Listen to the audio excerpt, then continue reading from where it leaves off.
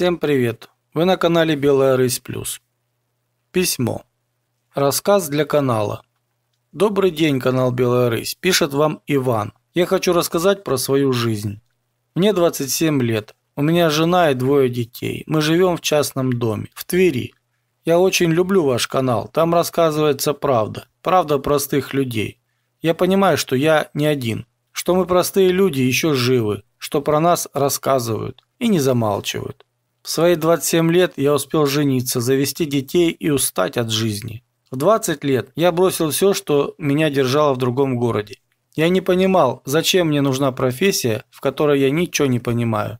Я не понимал, зачем мне слушать мать в вопросах выбора в жизни, если она сама не образец и не показатель успешности. Более того, я будто чувствовал, что она хотела, чтобы моя судьба была так же разрушена, как и ее. Я был молодой и влюбленный, я был счастливый и свободный. Я переехал в другой город, потому что я умел мечтать. Моя будущая жена к тому моменту родила нашего первого ребенка. Этот факт сильно бомбил у моей матери. Она считала, что я должен был сначала получить образование, устроиться на хорошую работу, а потом... А я считал, что я ничего никому не должен. У меня была моя маленькая семья в другом городе, и я не видел свой путь без нее. Я переехал, и мы зажили молодой и счастливой жизнью. Я устроился на работу по специальности.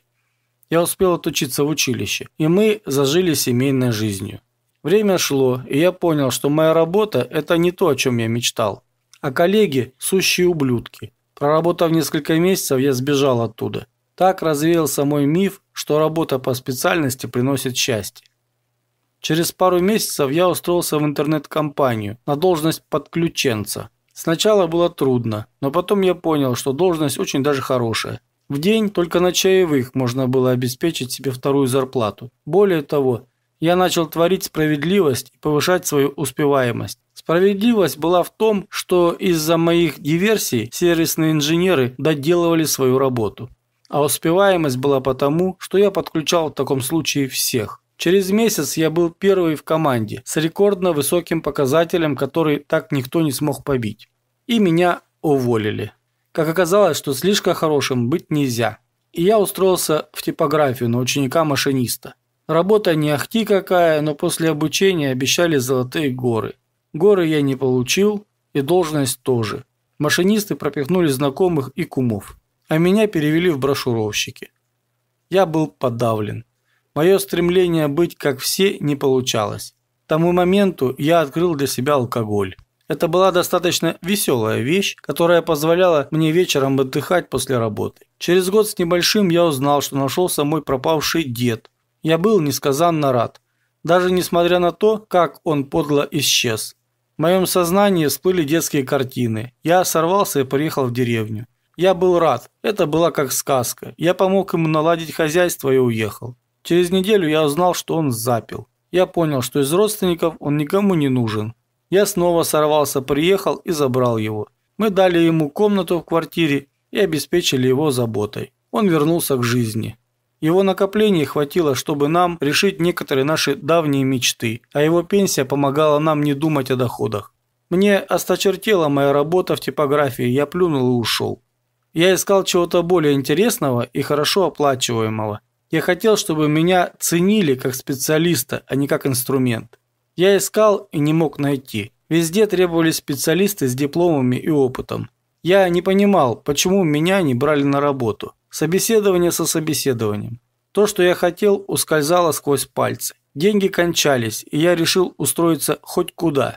И это «куда» оказалось Макдак. «Вау», – подумал я, – американская компания. Наверное, это здорово но американским было только название. Основной контингент был шкурный. Из-за поддержку руководства мать родную продадут. Дерьмовая работа. Но зато у меня появилось время для самореализации. Я начал развиваться как специалист. Работая в МАКе, я понял, что только на зарплату не проживешь. И как многие там, стал нести все, что не прикручено. Потом, или продавая это, или пуская в быт. Я даже шел на повышение. К тому времени у меня родилась дочка. Я был счастлив а мои розовые очки были подкреплены к тому времени алкоголем, проблем в котором я к тому времени не видел. Я позволял себе иногда просто слить смену, найдя оправдание или получив больничный. Да, я шел на повышение, и мой товарищ меня просто подставил. Его потом и повысили. В этот момент я понял, насколько люди продажные и шкурные в вопросах денег. Проработав еще немного, я послал менеджера и просто ушел со смены. А потом устроил такую диверсию, от которой директор взвыла. Трудовую потом прислали. Пробежав по рынку труда, я устроился по знакомству водителем. Ну как устроился? У меня неделя была стажа, неоплачиваемого, во время которого я осваивал азы грузчика и экспедитора. Стаж у меня был совсем никакой, но водить грузовик я научился быстро. Откатав пару дней, я понял, что это просто рабство. Уезжаешь в 7 утра, а приезжаешь и в 9 вечера. Поесть некогда. И абсурд в том, что я возил еду. Не дай бог еще что повредиться, спишут все. К счастью или нет, быстро это прекратилось, когда на машине отказали тормоза, и при прогрузке машина влетела в другую. На меня повесили деньги. Сказать, что я был в депрессии, ничего не сказать. Но к тому времени я понял, что у нас в России лучше всего получается кидать людей. Я просто исчез.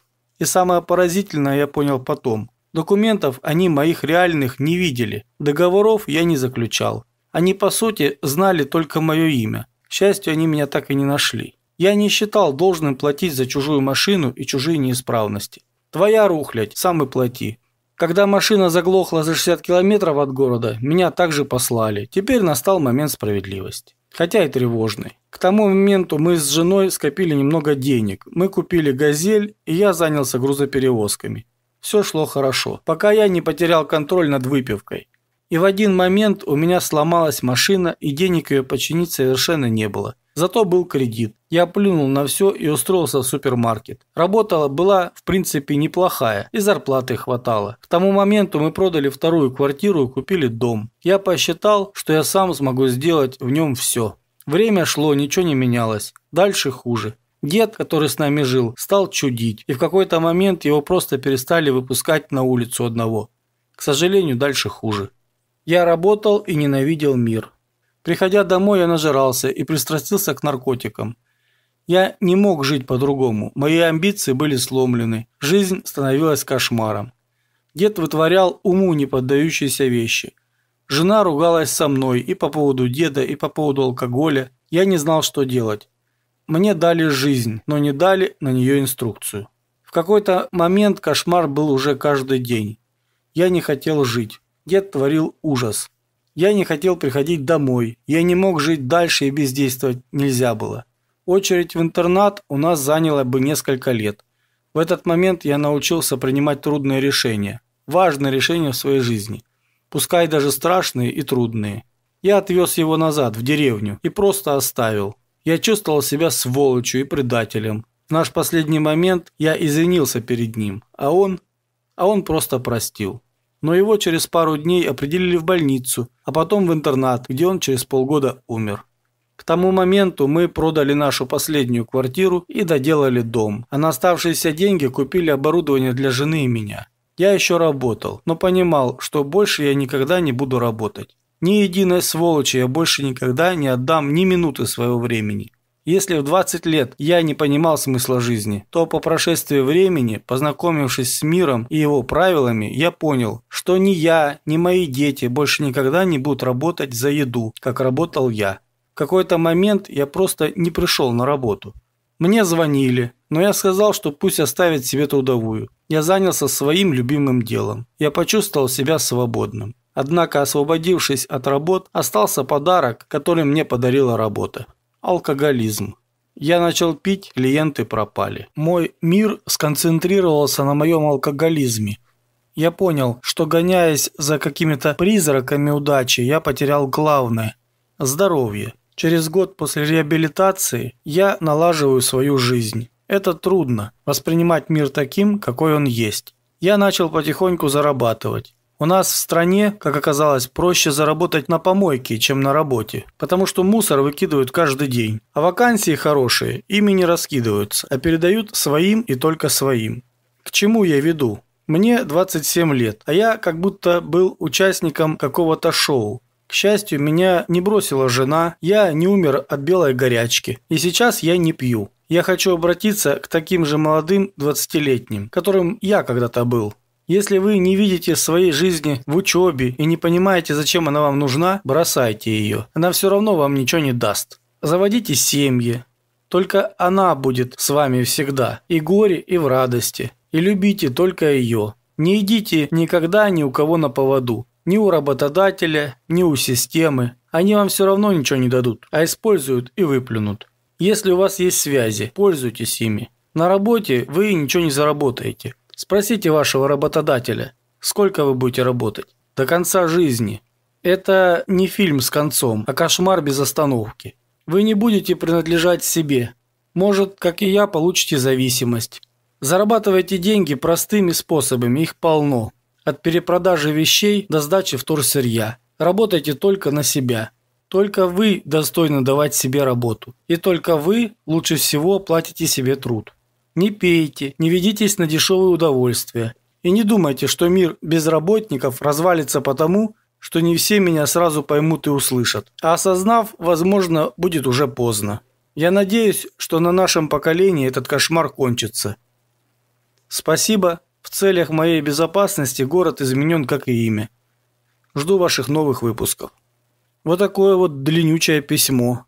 Напишите в комментариях, что вы думаете по поводу услышанного, как вы относитесь к автору письма, в чем он прав, в чем он не прав. Надеюсь, моя работа заслуживает лайков, ну и ваших подписок, наверное, тоже. Заранее спасибо. На сегодня все. Пока.